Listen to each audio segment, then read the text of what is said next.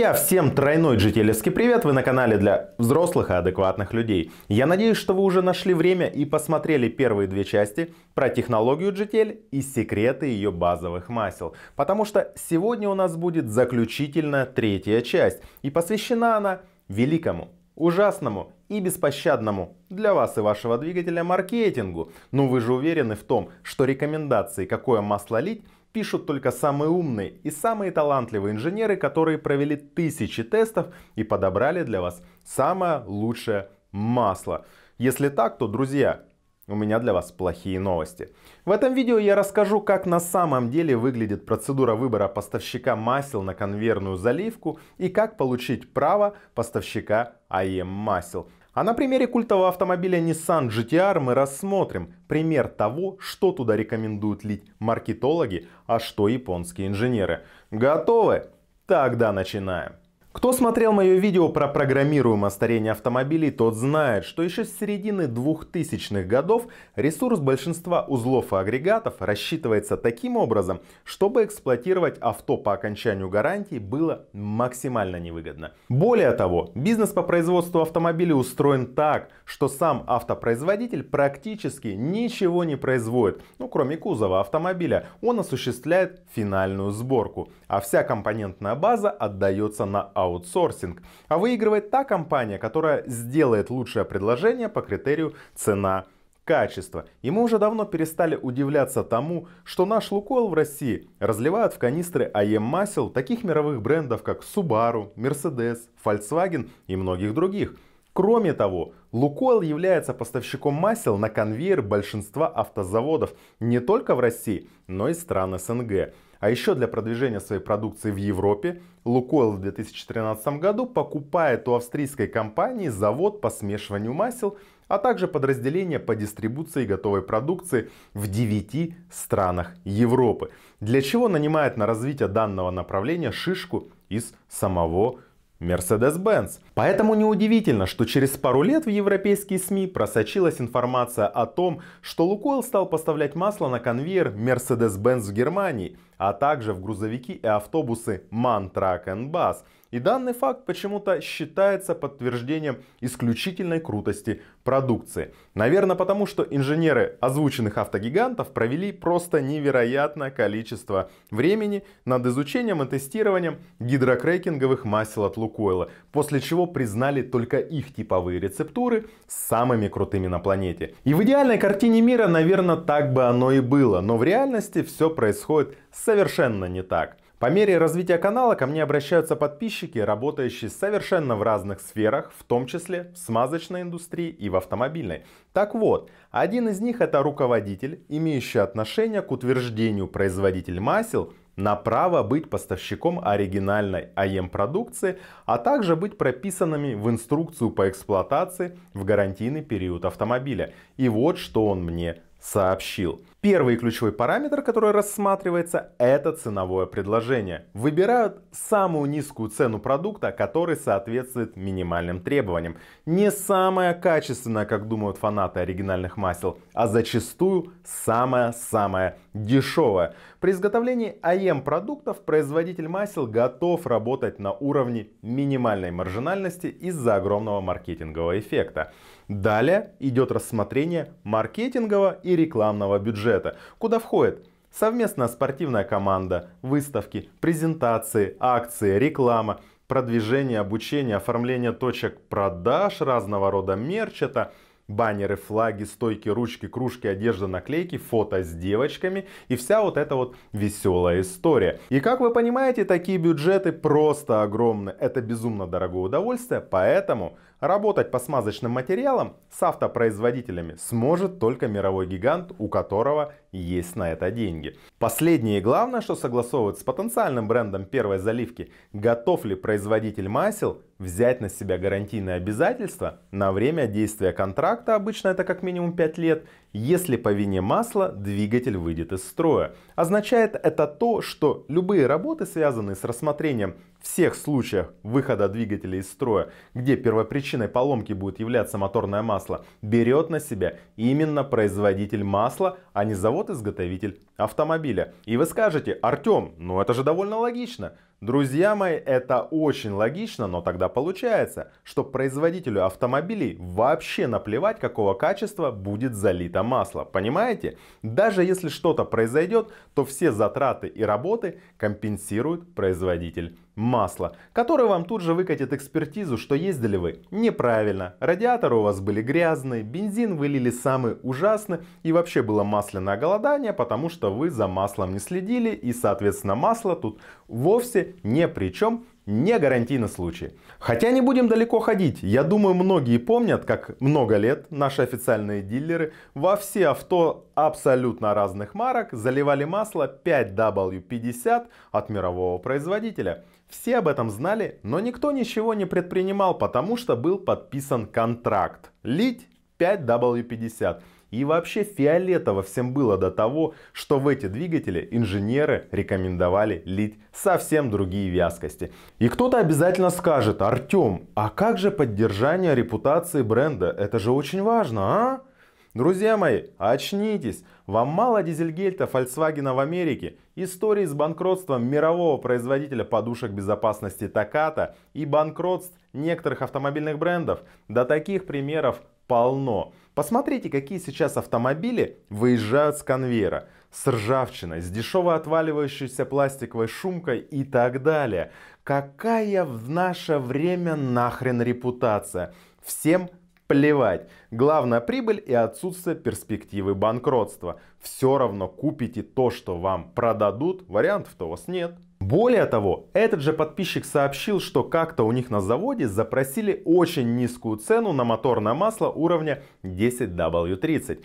Когда производитель масла сказал, что это будет очень посредственный продукт, ну прям очень низкого качества, то руководство автоконцерна ответило – Ребят, нам главное, чтобы авто выехал с завода и проехал до первого ТО, а дальше разберемся. Ну, наверное, поэтому в России появилось нулевое ТО, где вам советуют поменять якобы специальное обкаточное масло на нормальное. Ну вот скажите, где еще в мире есть такое, а? Покажите специальное обкаточное масло. Если вы такое услышите, держите в уме, что это значит самое-самое дешевое. Я, честно говоря, был в шоке от такой информации, но при чем тут житель масла, спросите вы. А вы думаете, только у нас такая история с выбором поставщика масел? Да точно так же поступают и зарубежные заводы, которые в инструкции по эксплуатации прописали масла на GTL основе. Посмотрите, что из себя представляет оригинальное масло немецкого бренда при прожарке, которое изготовлено на GTL основе. Что это за отложение, мы подробно разбирали во второй части видео. И теперь скажите, как как такое масло можно заливать в высоконагруженные, высокотемпературные и высокофорсированные турбированные немецкие двигатели. А потом начинаются песни, что мол немцы это ломучее ведро и вот это вот ла-ла-ла. Более того, нам приводят в пример, что даже Ferrari и Maserati гоняют на GTL маслах, а также довольно мощные автомобили ВАГ-группы, у которых в инструкции по эксплуатации четко прописаны бренды на GTL основе. А раз его рекомендуют в заряженные тачки и суперкары, то лучше ничего быть не может. Ну а теперь мы отложим в сторону рекламные буклеты и будем рассуждать объективно. Во-первых, во второй части ролика мы выяснили, что Shuttle для Ferrari и Maserati и иных премиальных брендов производит масла на отдельном мини-заводе в Гамбурге. Здесь производятся масла для Формулы-1, для Ferrari, и, конечно же, в комментариях появились диванные владельцы данных брендов с язвительными комментариями. Поэтому для вас поясняю, как выглядит эта схема в реальности. Shuttle на своем мини-заводе для премиальных брендов, выпускающих автомобили ограниченными партиями, продает в фирменных бочках несколько иное масло, которое отличается от того массового продукта, который прописан у них в инструкции по эксплуатации. Данное масло, как и масла других АМ-производителей, поступает в официальные дилерские центры, где и производят замену масла при очередном ТО Ferrari, либо Maserati, либо иного премиального бренда. Конечно, владелец Ferrari в случае экстренной необходимости может приобрести в любом магазине товарное масло, которое указано в его инструкции по эксплуатации, которая якобы подходит для его двигателя. Мне кажется, вы все еще не верите. Тогда я предлагаю ознакомиться с мнением настоящего владельца Ferrari, который решил сменить дилерское масло на товарно рекомендованный шаттл, благодаря которому через 800 километров падает давление в системе смазки и загорается аварийный индикатор критического давления масла в системе. Конечно же, владельцу шаттла рекомендуют ехать на замену к официальному дилеру, где тот в свою очередь зальет специальное масло из фирменной бочки, которое и разливают на отдельном мини-заводе в Гамбурге. Что это за масло и насколько серьезно оно отличается от гражданского товарного масла, наверное, никто из нас и никогда не узнает. Но но именно так, вероятнее всего, и выглядит схема поставок АЕМ масел для премиальных брендов от шаттла. Владелец же тем временем связался с представительством, уточнил, где можно купить неподдельное обычное товарное масло шаттл, которое прописано в инструкции, и сменил его еще раз. Ну, мало ли, вдруг подделка попалась. Но чудо, к сожалению, не произошло. Через 800 километров опять загорается лампа низкого давления масла в системе после покатушек, на что официальное представительство шаттла советует владельцу ехать в сервис и чинить двигатель. Кстати, двигатель этой Феррари чудесным образом самоизлечился при замене масла на нерекомендуемое и отлично до сих пор себя на нем чувствует. Чудеса. И, кстати, таких примеров довольно много. Во-вторых, Феррари и Мазератти, другие спортивные автомобили, это тачки выходного дня, не на повседнев. За всю жизнь на них проезжают несколько десятков тысяч километров, а гоняют на треке и того реже. Даже если что-то и засрется, вы думаете, что в сервисную зону пустят богатого клиента? Дружище, вот твоя Феррари на подмену и вперед домой. Поэтому аргументация о том, что качество GTL масел проверено инженерами дорогих брендов, это все сказки для бедных. Друзья, я вам рассказал, как выглядит реальная ситуация с выбором поставщика масел на конвейерную линию. И ваше право верить этой информации, либо нет. Но вы мне скажете, окей, Артем, на Феррари мало ездят, да еще и на специальном масле. С BMW и так все понятно, там производителю вообще пофиг, что заливать. Но вот же есть японский Nissan GTR, в мануале которого написано – что двигатель разрабатывался под использование GTL масла Mobile 0W40. А ведь Nissan GTR на минуточку, это один из самых массовых спорткаров на каждый день и на нем действительно наваливают как в последний раз. Что ты скажешь на этот увесистый аргумент? Друзья, что я скажу? Скажу, что я еще больше стал любить этот действительно культовый автомобиль. Двигатель которого оказывается настолько уникален, что разработан исключительно под определенный продукт определенного бренда масел. Вот это поворот. Вот скажите мне, как? Просто как можно поверить в то, что двигатель автомобиля разрабатывался под конкретного производителя масел и его конкретный продукт? Честно сказать, когда я такое услышал, я чуть со стула не рухнул. А если завтра закончится контракт и придет новый производитель масел? А если Mobile завтра возьмет и перестанет выпускать рекомендуемое 0W40? Ну что тогда будут лить владельцы в свои Nissan GTR?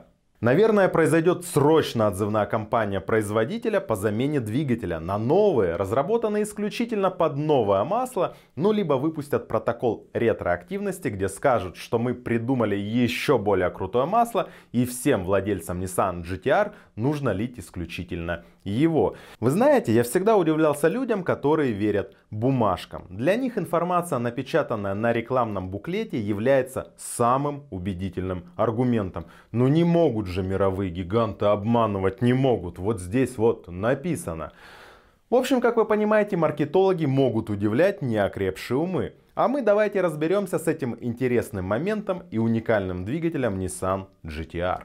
Давайте внимательно рассмотрим мануал Nissan GTR 2021 года. Действительно, в мануале многократно, просто нереальное количество раз приводится информация о том, что рекомендованным маслом является Mobile 0W40 на GTL. Но самое интересное дальше. Если читать мануал очень внимательно, а не как обычно, то вот что вы там увидите. Я переведу. Замена моторного масла на Матюль Nismo Competition типа 2193E 5W40 рекомендуется для частых поездок с высокой производительностью. Это что же получается? Что те самые настоящие и умные японские инженеры подстраховались и написали, что если у вас частая агрессивная манера вождения, то вам нужно совершенно иное масло. Ну, например, Матюль Нисма Competition. Более того, мы нашли Nissan GTR, который гонял на официальном GTL масле Mobile 0W40 и посмотрите, что стало с его движком плане отложений.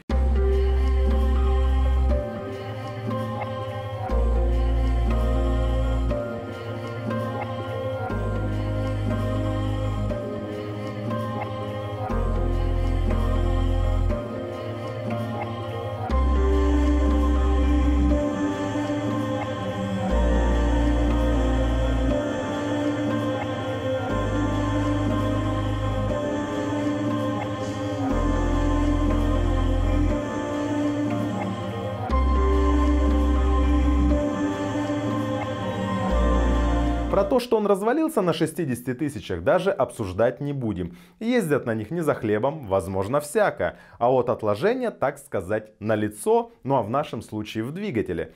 А может быть такое, что масляные каналы были забиты сгустками полимера, о котором я говорил во второй части, что и привело к масляному голоданию со всеми вытекающими последствиями. Кто знает, вполне возможно. Но вы только посмотрите на эту черноту. Вам не вспоминаются никакие колбочки с прожарками масел с аналогичным пейзажем. В целом это в очередной раз подтверждает то, что процесс примитивной прожарки масла на плитке косвенно, но все же можно сравнить с эксплуатацией масла при работе в температура нагруженном двигателе. Более того, хваленая термостойкость GTL низкая испаряемость, высокая вспышка, которые так красиво выделяются на бумаге, по факту не справляются в тяжелых условиях эксплуатации, а тот самый полимерный загуститель просто в огромнейших объемах просто-напросто засирает весь двигатель. А теперь давайте перенесемся в Японию и посмотрим, что же у себя на родине рекомендует лить сам производитель Nissan в свою Годзиллу. Переведу. Сказать, что моторное масло 2193E5W40 было разработано специально для двигателя VR38DET не будет преувеличением. Это масло выросло вместе с этим двигателем, и его разработка была направлена на использование в спортивных состязаниях с высокими эксплуатационными характеристиками. Испытана в 2008 году Takачи 24 часа, использовалась в Nissan GTR Nismo RS и Nissan GTR Club Track Edition и участвовала в гонках 24 часа в Нюрбург ринге. Вот это шок-контент. И что? И под это масло Nissan тоже разработал уникальный двигатель. Мало того, что это другой производитель масла был Mobile, стал Матюль, так и вязкость уже не 0W40, а 5W40. Получается, в мире есть как минимум два разных двигателя для Nissan GTR, которые разработаны для двух разных масел. Вы что, ебанутые что ли? Владельцы, смотрите, не перепутайте. Друзья, ну что я могу сказать? Либо Nissan настолько крутая и богатая корпорация, что под каждое масло может разрабатывать уникальные двигатели. Либо все, что написано в инструкции по эксплуатации, нужно считать полной ересью, кроме рекомендованного именно инженерами, а не маркетологами масла Матюль Nissan Competition. Видите, как только вопрос касается температуры нагрузок, инженеры Nissan выбирают вместо GTL масел как минимум матюль на гидрокрейтинге. И точка. Еще инженеры Nissan подстраховались по температуре масла и пробегу. Смотрите, как интересно. Замена масла допускается через 10 тысяч километров при условии, если температура масла не превышала 110 градусов в случае, коротких поездок не более 8 километров при нормальной температуре окружающей среды и не более 16 километров при низкой температуре, движений в пробках, в жаркую погоду или низкоскоростной езде на большие расстояния, вождение в пыльных условиях или неровных, грязных или засоленных дорогах. Помним, что при этом температура не должна превышать 110 градусов. Почему это важно? Инженеры Nissan не зря выделили целый пункт, касающийся рекомендаций по температуре. Если температура меньше 110 градусов, то замена через 10 тысяч. Если температура от 110 до 130, то через 5. А если температура превысила 130, то срочно замена масла. А теперь еще раз посмотрите на температуры, которые показывают масла на разных базах при тестах на машине трения И5018М. Именно о колоссальной разнице в теплопроводности разных базовых масел я и говорю в последний год. И что это один из самых важных параметров, о котором вообще никто никогда не задумывается. Но мы возвращаемся к нашему спорткару. По сути, на этом прекрасном примере мы видим, что в боевой спорткар заливают масло, которое для него вообще не предназначено. Поездки не больше 8 километров летом и температура, чтобы не выше 110 градусов. Да это для этого автомобиля прогулка на круизе и полный позор. Получается, вы покупаете заряженный Nissan GTR, но эксплуатировать вам его по инструкции предлагают на заводском масле, как на каком-нибудь овощном Hyundai Solaris. Следите за температуркой и чтобы не больше 8 километров. А хотите погонять? Меняйте масло на другое, иначе... А иначе, друзья, вас предупреждали без обид. При этом я уверен, что владельцы Nissan GTR, как и большинство из нас, даже и не найдут то, что я вам только что сейчас зачитал. Они же уверены, что инженеры подобрали отличное масло и будут беспощадно эксплуатировать данный болид, так как он был рожден именно для высокоскоростной динамичной езды. А потом мы видим моторы, которые начинают есть масло и то, как они разваливаются на смешных пробегах. Поэтому, друзья, если у вас современный температура нагруженный двигатель, где масло греется находится свыше 100 градусов, а это, напомню, практически все современные автомобили, подумайте, нужна ли вам такая лотерея с маслом, где содержится такое огромное количество полимерного загустителя, который в случае чего развалится и загадит какой-нибудь маслоканал. Не верите мне? Послушайте инженеров Nissan GTR. Безусловно, маркетологи мобайла и шаттла не зря едят свой хлеб. Они успешно продавили свой продукт. А инженерам теперь приходится изворачиваться и писать нужную информацию там, где вы ее никогда не найдете, чтобы им потом не прилетело по массовым жалобам от клиентов. И это еще одно подтверждение моих убеждений, что GTL масла не держат нагрузки. А теперь я снова предлагаю взглянуть на инструкцию по эксплуатации Nissan GTR, но уже от 2017 года. А вот тут как раз и нет упоминания про масло Матюль. Но возникает вопрос, почему? А все потому, что именно в 2017 году Mobile перевел свою линейку на шаттловский GTL со своего гидрокрекинга весом, о чем сразу же узнали форумчане Oil Club через анализ новых масел. Но контракт-то заключался годом ранее, когда рецептура мобайла еще была прежней на собственном гидрокрекинге весом. Производителю Nissan теперь не менять же выпущенные согласованные инструкции по эксплуатации. А вот уже спустя три года После очередного рестайлинга Nissan GTR и полученного негатива от владельцев, производитель Nissan в новой версии инструкции по эксплуатации от 2021 года уже внес корректировки по маслу и добавил матюль для эксплуатации своего автомобиля по его прямому назначению, а не круизных поездках на GTL от Mobile. Сделали это по настоянию инженеров. Вот оно как интересно получается, нужно только внимательно прочитать и разобраться. Друзья, теперь вы полностью знаете мое мнение по маслам, изготовленным на GTL основе. На данный момент я считаю, что GTL это недоработанная технология. Если у вас спокойная манера вождения, слабенький двигатель, вы никогда и никуда не торопитесь и меняете масло исключительно через 5000 километров, то вам масел на GTL основе хватит за глаза. Хотя согласно опросу того же Oil Club, разницу по угару на маслах GTL большинство даже и не заметило. Ну а как же невероятно низкий ног, сверхвысокая вспышка у GTL масел. Ну вот почему разницы-то нет? Поэтому выбирайте проверенный временем и мировыми объемами продаж гидрокрекинг как хорошую альтернативу. А вот если шаттл введет аналогичную гарантию на свои масла, как в Америке сделала его дочка Penzol, то без вопросов все переходим на GTL масла. Но если у вас современный, высокотемпература нагруженный двигатель, да еще и турбированный, рассмотрите иные базы от греха подальше. Вы знаете, я лишний раз убедился в том, что миром правит беспощадный маркетинг и желание в получении сверхприбылей мировыми гигантами. И еще в том, что на текущий момент масла на ПАО плюс эстер так и остаются непревзойденными по своим эксплуатационным характеристикам. Таково мое мнение, и на текущий момент оно останется неизменным. Спасибо всем неравнодушным подписчикам за инсайдерскую информацию, поддержку аудитории. Спасибо за просмотр. Парни, берегите себя, берегите своих близких, любите свои автомобили так, как любим их мы. Скоро увидимся. До новых встреч.